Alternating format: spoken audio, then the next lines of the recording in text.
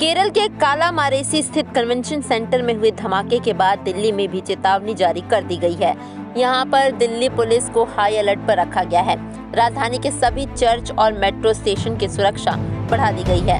इससे पहले दिल्ली के सभी चर्च की सुरक्षा बढ़ाने के निर्देश दिए गए थे। वहीं दिल्ली पुलिस की स्पेशल सेल केंद्रीय जाँच एजेंसियों के भी संपर्क में है, ताकि इस संबंध में कोई इनपुट इन्हें मिल सके।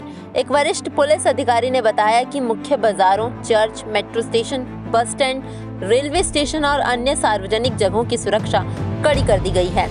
उन्होंने बताया कि उत्तर प्रदेश और हरियाणा से लगने वाली सीमा पर बैरिकेड लगाने के निर्देश दिए गए हैं। सिविल ड्रेस, बाइक और पीसीआर में तैनात पुलिस कर्मियों को अलर्ट रहने के लिए कहा गया है।